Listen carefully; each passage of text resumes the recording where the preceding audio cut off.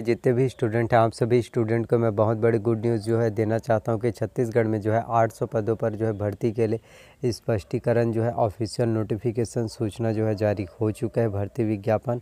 और इसके साथ ही बताऊँगा आप लोगों को आप लोगों को कि एक सौ इक्यानवे पदों पर जो बड़ी भर्ती निकल कर आया था, जिसमें आपका स्टाफ नर्स का एक सौ इकहत्तर पोस्ट और रेडियोग्राफर के लिए बीस पोस्ट है। कुल टोटल एक सौ इक्यानवे पोस्ट जो है, आया था और एक दो वीडियोस मैंने आपको बता, वीडियोस बना के बताया भी था स्टाफ नर्स और रेडियोग्राफर के बारे में।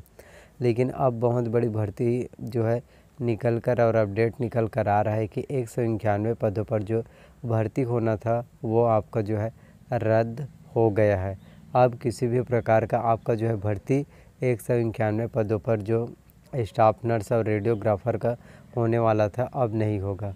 और इसके साथ ही आप लोगों को बताना चाहता हूँ कि 800 पदों पर जो है, स्वास्थ्य विभाग में जो है, भर्ती निकल कर आया है। बात करेंगे इसके लिए आपको आवेदन कब करना है और आवेदन करने की लास्ट डेट जो है कब है तो इसके लिए नोटिफिकेशन जारी नहीं हुआ है।